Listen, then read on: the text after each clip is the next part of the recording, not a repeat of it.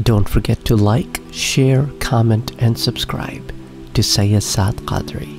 Rahmatullahi wa barakatuhu.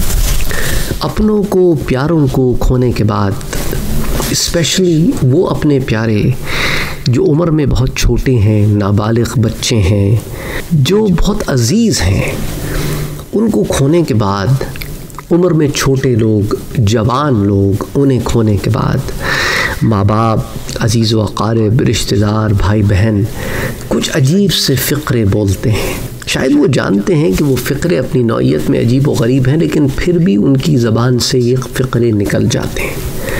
उनमें से एक फ़िक्रा ये होता है कि यूँ मालूम होता है कि गोया वो वक्त से पहले चला गया।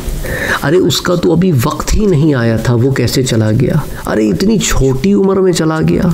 ऐसा कैसे हो सकता है? कहीं इसके अंदर वो अपने लिए मलामत के पहलू ढूंढते हैं, कहीं कुछ और अल्फाज का चुनाव करते हैं, और अजीब व गरीब सी बातें मंजर आम पर आती नज़र आती हैं। तो याद रखें, मेरे भाइयों और मेरी बहनों, वक्त से पहले कोई नहीं चाहता। चाहता वही है कि जिसका वक्त आ जाता है।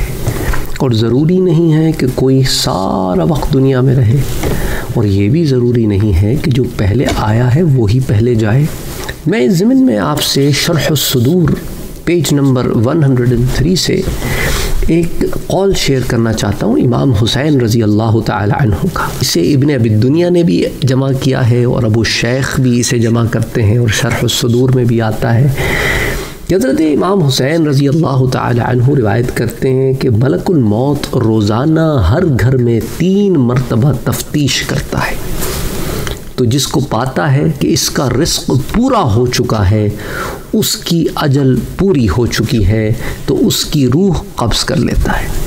तो हर घर में ये अल्लाह की तरफ़ से इंतज़ाम है। तो जब वो रूह कब्ज़ कर लेते हैं तो घर वाले फिर रोना धोना शुरू कर देते हैं। इस तरह की अजीब व गरीब बातें शुरू कर देते हैं।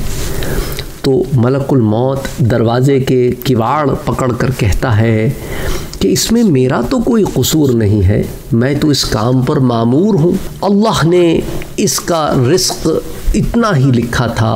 खुदा की कसम, मैंने इसका रिस्क नहीं खाया और ना मैंने इसकी उम्र ख़त्म की है और ना मैंने इसकी मौत में कमी बेशी की है। मुझे तो तुम्हारे यहाँ बार बार आना है। यहाँ तक कि तुम में से किसी को बाकी नहीं रहने दूँगा। हज़रत इमाम हसन रज़ी अल्लाह तु फरमाते हैं, वल्लाही खुदा की कसम, अगर वो लोग उसका मुकाम देख लें और उसका कलाम सुन लें तो वो मैत को भूल जाएँ और अपनी जानों पर रोने लगें।